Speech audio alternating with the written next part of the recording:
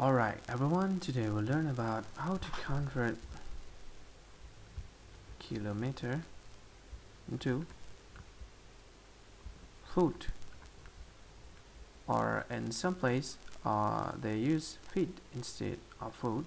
Oh it's not foot it's foot with T not D right?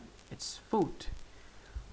So in this row we'll learn about convert kilometer into foot and before you you convert the kilometer to foot. You need to know that one kilometer is equal to 3260 point I mean 80 point 84 foot.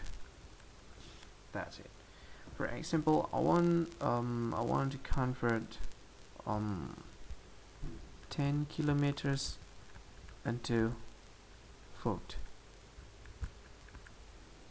right?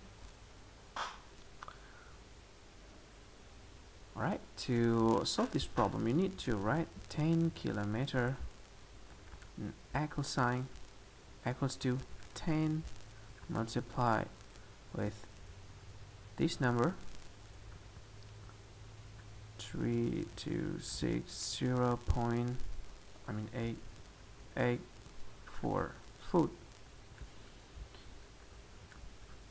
kilometer is equal to so the result is um so is because we got 10 just move this comma over here and just write 10 over here.